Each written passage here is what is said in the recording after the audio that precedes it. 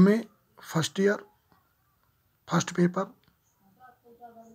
Canterbury Tales by Chaucer. Explanation: when the April with his sour soup, the drought of March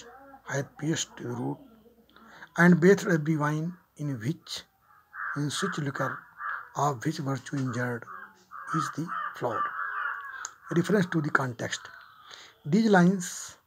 these are the opening lines of Chaucer's prologue to Canterbury Tales ये पंक्तियाँ Chaucer के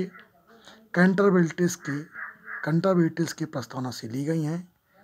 Chaucer opens his poem Chaucer अपनी कविताओं को शुरू करते हैं with the description of nature प्रकृति के वर्णन के साथ his object is to describe details उनकी विषय वस्तु कहानी की व्याख्या करना है नरेटेड बाय द पिलग्रिम्स दो तीर्थयात्रियों के द्वारा बताई गई है during their journey to Canterbury उनकी कैंटरबरी यात्रा के दौरान before coming to these tales इन कहानियों पर आने के पहले Chaucer in his prologue Chaucer अपने प्रोलॉग में proposals to describe the nature प्रकृति का वर्णन करने का प्रस्ताव प्रस्तुत करते हैं हैबिट्स आत्तों का ड्रेस वस्त्र का and special qualities of these pilgrims और इन तीर्थयात्रियों की विशेष गुणों का एक्सप्लेनेशन व्याख्या इन दीज लाइन्स इस पंक्ति में दी पोएट सेज कहता है that when the month of April comes जब अप्रैल का महीना आता है दिसावर ऑफ रेन तो बरसात की बौछारें गो डीप इंटू दी अर्थ धरती में गहराई तक पहुंच जाती हैं from the force of earth धरती के from the force of earth moistures धरती की नमी के बल से flowers are born flower flowers are born फूल पैदा हो जाते हैं the west wind also with its sweet breath throws life into every forest और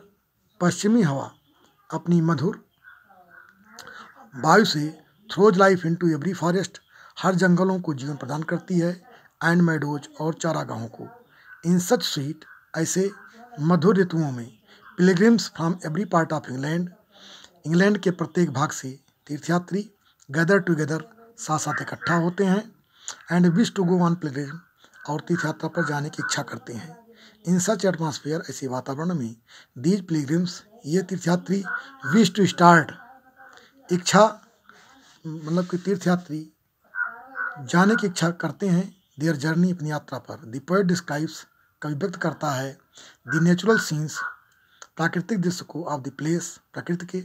when the pilgrims under to journey जब तीर्थयात्री अपनी यात्रा शुरू करते हैं तो कब प्राकृतिक दृश्य का और स्थान का वर्णन करता है note nature has been the favourite of poets प्रकृति कवि का प्रिय वस्तु है from the long to past शुरू से अंत तक Geoffrey Chaucer presents the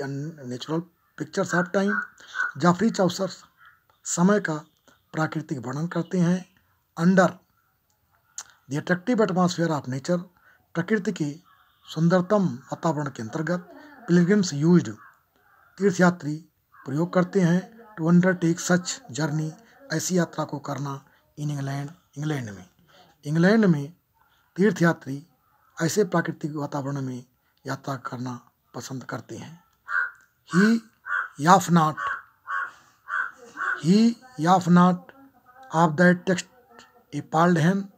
that saith that hunters be not the holy man new the monk when he is reckless is likened to the fish that is waterless. Reference to the context. These are the opening lines of Chaucer's prologue to Canterbury Tales. ये Chaucer की prologue की Canterbury tales की प्रस्तावना है Chaucer opens his poem with the description of nature Chaucer अपने कविता की शुरुआत प्रकृति वर्णन से करते हैं his object is to describe details उनकी मुख्य विषय वस्तु कहानियों का वर्णन करना है नरेटेड बाय द पिलग्रिम्स जो तीर्थयात्रियों के द्वारा बताई गई है during the journey of Canterbury tales जब वह कंटरबरी की यात्रा पर थी बिफोर कमिंग टू डिटेल्स इस कहानी पर आने के पहले चाउसर इन प्रोलॉग चाउसर अपने प्रोलॉग में proposal to describe the nature प्रकृति का वर्णन करने का प्रस्ताव करते हैं हाइब्रिड्स आत्तों का ड्रेस वस्त्रों का इन सल क्वालिटीज ऑफ दीज पिलग्रिम्स और यही इनके तीर्थयात्रियों का मुख्य गुण है एक्सप्लेनेशन व्याख्या इन दीज लाइन्स इन पंक्ति में दी पोइट सेज कब कहता है that among these twenty nine pilgrims की इन उनतीस तीर्थयात्रियों के बीच में देयर वेयर वन वहाँ पर एक व्यक्ति था who came the class of religious man जो धार्मिक व्यक्तियों के वर्ग से आता था ही वाज मंक वो सन्यासी था the monk in the place of being interested in religion संत धर्म में रुचि लेने के स्थान पर वाज था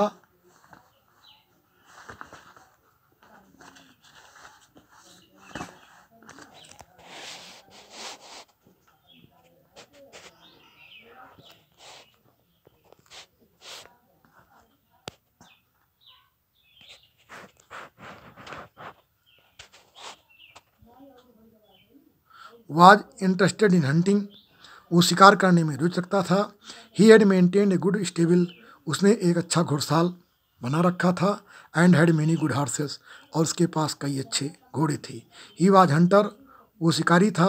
एंड जस्टिफाइड हंटिंग और शिकार करता था ही डिन नॉट से वो नहीं कहता था दैट इट वाज रॉन्ग ये गलत था and unbecoming of monk like him और उस जैसे साधु के लिए उचित नहीं था he rejected the text of the scripture वो हस्त लिपियों के गद्य को रिजेक्ट करता था इन विच जिसमें इट वाज डिनोट डिनोटेड ये नोट किया गया था that hunting is far forbidden to the monks कि शिकार करना साधुओं के लिए प्रतिबंधित है इट वाज वेल सेड ये अच्छी तरह कहा गया फॉर दी मंक्स संतों के लिए that they should busy in church कि उन्हें चर्च में व्यस्त रहना चाहिए चर्च की सेवाओं में and should not roam outside the church और उन्हें चर्च के बाहर नहीं घूमना चाहिए इमंग एक साधु हु निगलेक्ट्स रिलीजियस ड्यूटीज जो धार्मिक कृत्यों को निगलेक्ट करता है एंड हैज अदर बिजनेस और उसके पास अन्य कार्य होते हैं दैन द रिलीजियस राइट उन धार्मिक संस्कारों के अतिरिक्त who wanders out of church जो चर्च के बाहर घूमता है इन सर्च ऑफ कम्फर्ट आराम की खोज में लग्जरी विलसता की खोज में and his own reactions to impatient और उसकी अपनी आनंद के बारे में ही इज इम्पेशेंट जिसके लिए अधीर हो जाता है सैड एंड पेनफुल दुखी और दर्दपूर्ण हो जाता है ए द फिश जैसे कि मछली इज आउट ऑफ वाटर जल से बाहर होती है water is the basis of life of the fish जिस तरह से मछली के जन्म का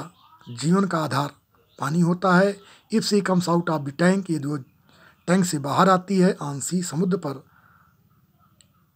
इंड इज इनिविटेबल तो उसका अंत जो है सुनिश्चित होता है सो so, इसलिए उसी तरह से रिलीजियस पर्सन एक धार्मिक व्यक्ति लाइक मंक जो संत की तरह होता है who loses her religious pursuits जो अपने धार्मिक कृत्यों को छोड़ देता है एंड एन्जॉयज वर्डलीनेस और सांसारिकता में आनंद लेता है out of church loses church की हानि के बावजूद his whole existence and importance in the society तो वो समाज में अपने संपूर्ण अस्तित्व और महत्व को खो देता है इन दीज लाइन्स इन पंक्तियों में चौसर प्रजंस चौसर व्यक्त करती हैं ए सटायर एक व्यंग ऑन द लाइफ जीवन पर and working of religious persons धार्मिक व्यक्ति के कार्यों पर of the fourteen century England जो इंग्लैंड की चौदहवीं शताब्दी से संबंधित थी me think it accordant to resound to tell you all the condition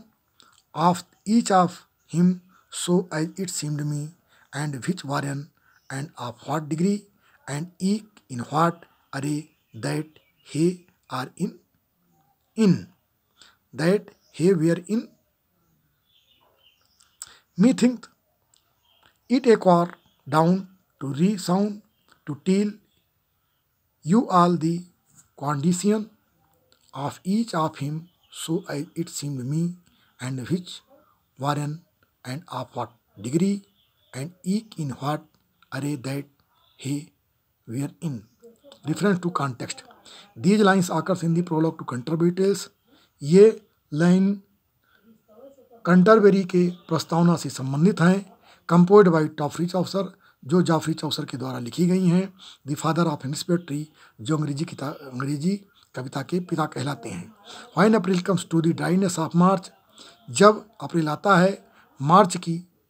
शुष्कपन समाप्त हो जाता है the season becomes favourable pilgrims तो ये ऋतु तीर्थयात्रियों के लिए प्रिय हो जाती है from each corner of the country देश के प्रत्येक भागों में बीस टू गो वह जाना पसंद करते हैं टू फार ऑफ कंट्री दूर के देशों में टू वर्सिप दियर सेंट्स अपने संतों की पूजा करने के लिए एंड प्रॉफिट्स और अपने पैगंबरों की specially they go to Canterbury विशेष रूप से वे कंटरबेरी जाते हैं to worship this pious saint pious saint की पूजा करने के लिए saint Thomas Becket saint Thomas Becket की हु हेल्प देम जिन्होंने उनकी मदद की थी वैन दे बियर सिख जब वे बीमार थी इट वंस हैपेंड ये एक बार घटित होता था that the poet happen to stay